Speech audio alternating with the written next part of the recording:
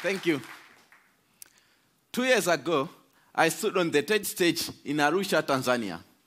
I spoke very briefly about one of my proudest creation. It was a simple machine that changed my life. Before that time, I had never been away from my home in Malawi. I had never used the computer. I had never seen an internet. On stage that day, I was so nervous. My English lost. I wanted to vomit. I had never been surrounded by so many Azungu, white people. there was a story I couldn't tell you then, but well, I'm feeling good right now. I'd like to share that story today. We are seven children in my family, all sisters excepting me. This is me with my dad when I was a little boy. Before I discovered the wonders of science, I was just a simple farmer in a country of poor farmers. Like everyone else, we grew maize. One year, our fortune turned very bad. In 2001, we experienced an awful famine. Within five months, all Malawians began to starve to death. My family ate one meal per day at night, only three swallows of nsima for each one of us. The food passes through our bodies. We drop down to nothing. In Malawi, secondary school, you have to pay school fees. Because of the hunger, I was forced to drop out of school. I looked at my father and looked those dry fields. It was the future I couldn't accept.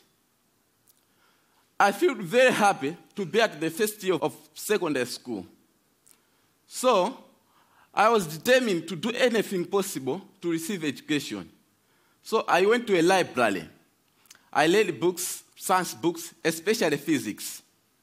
I couldn't read English that well. I used diagrams and pictures to learn the words around them.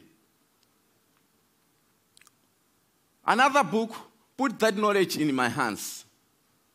It said, windmill could pump water and generate electricity.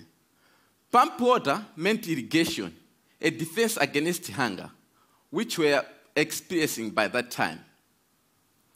So I decided I'll build one windmill for myself. But I didn't have materials to use. So I went to a scrapyard where I found my materials. Many people, including my mother, said I was crazy.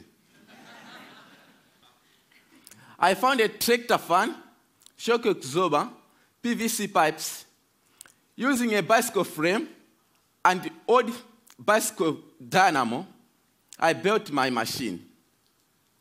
It was one light at first, and then four lights with switches, and even a circuit breaker modeled after an electric bell. Another machine pumps water for irrigation. Queues of people start lining up at my house to charge their mobile phone. I could not get rid of them. and the reporters came too, which led to bloggers, and which led to a call from something called TED. I had never seen an aeroplane before. I had never slept in a hotel. So, on stage that day in Arusha, my English lost. I said something like, I tried and I made it.